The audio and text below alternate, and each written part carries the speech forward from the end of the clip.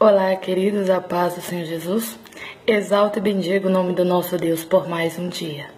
E eu já quero aproveitar esse momento para trazer uma palavra da parte de Deus para o teu coração. Que talvez hoje esteja pagando um preço por ter recebido um direcionamento da parte de Deus e não ter seguido porque quando nós recebemos um direcionamento da parte de Deus, é porque Ele quer nos conduzir até o milagre, até a mudança, até aquilo que Ele tem para nossa história. Porém, seguir um direcionamento do Senhor não é coisa fácil. Por vezes vai exigir renúncia, vai exigir deixar o nosso eu de lado, o nosso orgulho, e por quantas vezes nós, por não nos posicionarmos da maneira certa, nós deixamos de seguir algo que Deus tem nos instruído. E de repente nós olhamos ao nosso redor e vemos que aquilo que nós queríamos que acontecesse não está acontecendo. Que a mudança que nós tanto esperamos não está chegando.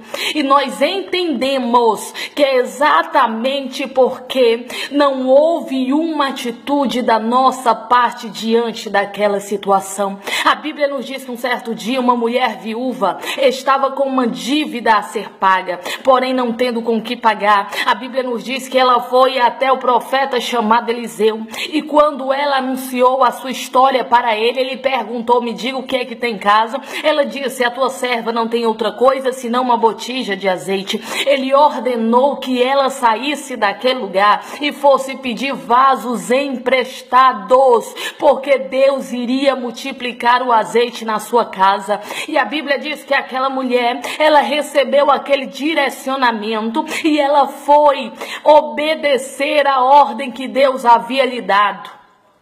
Ela buscou vasos vazios para ela, porque sabia que através da obediência Deus iria operar um milagre dentro do seu lar. Olha só, quando aquela mulher decidiu obedecer o direcionamento que ela estava recebendo de Deus, ela estava dando um passo para alcançar o impossível na sua história. Com certeza, para aquela mulher sair batendo de porta em porta, pedindo vasos vazios emprestados aos seus vizinhos, não era coisa fácil, não. Isso exigia exigia renúncia, isso exigia esmagar o seu eu, isso exigia esmagar a sua própria vontade, mas ela enxergou naquele direcionamento algo maior da parte de Deus para a vida dela. E a Bíblia diz que aquela mulher conseguiu os vasos vazios e de repente quando ela fecha a porta da sua casa e ela começa a derramar o azeite sobre os vasos, o azeite começa a multiplicar. E quando o azeite multiplica, ela tem com que pagar a sua dívida e ainda pode viver do resto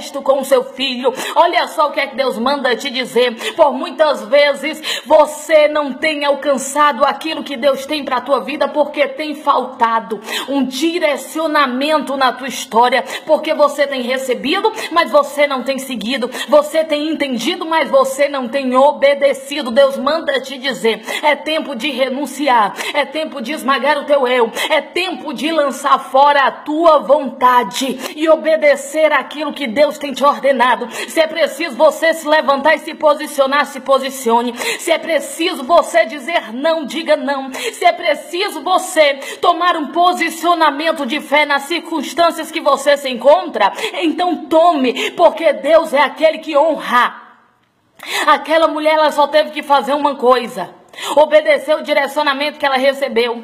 Ela só teve que fazer uma coisa: buscar vasos vazios para si. Quem multiplicou o azeite não foi a viúva, quem multiplicou o azeite foi o Senhor. Quem multiplicou o azeite não foi o profeta, quem multiplicou o azeite foi Deus. Olha só o que é que o Senhor ele manda te dizer. Por vezes você não tem se posicionado porque você não tem entendido o que é que Deus quer fazer. Imagina se aquela mulher começar a se perguntar: por que os vasos têm que ser vazios? Por que os vasos têm que ser muitos? Por quê? Por quê? E por que se ela começasse a se perguntar, talvez ela tivesse parado no tempo e não tivesse alcançado o seu milagre? O problema é que muitas vezes você quer questionar com Deus, você quer perguntar perguntar o porquê e o para quê de todas as coisas. E Deus ele manda te dizer apenas obedeça, porque quem multiplica é ele, quem entra com providência é ele, quem restaura casamento é ele, quem entra com aquilo que você necessita é ele. Então não tenta entender o agir de Deus na tua história, não apenas obedeça. Se ele te direcionou para fazer algo, levanta e faça, porque assim como aquela mulher, ao obedecer o direcionamento que ela recebeu de Deus, ela alcançou o seu milagre,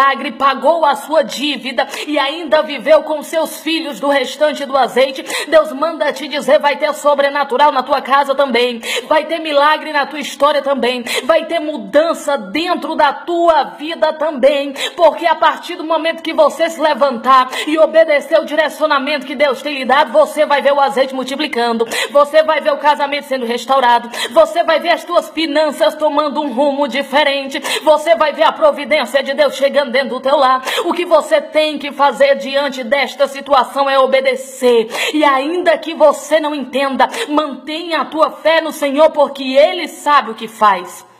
Apenas obedeça. Faça aquilo que Deus colocou no seu coração. Faça aquilo que o Espírito Santo há muito tempo vem direcionando você. E você vai ver as coisas mudando. É preciso tomar posicionamento diante do impossível. É preciso usar a fé para que o milagre venha acontecer. Mas assim como aquela mulher saiu vitoriosa dessa situação, se prepare. Você também vai sair daí cantando o hino da vitória. É tempo de seguir o direcionamento que Deus ele tem lhe dado. Que Deus abençoe poderosamente a sua vida. Fique na paz de Cristo. Amém.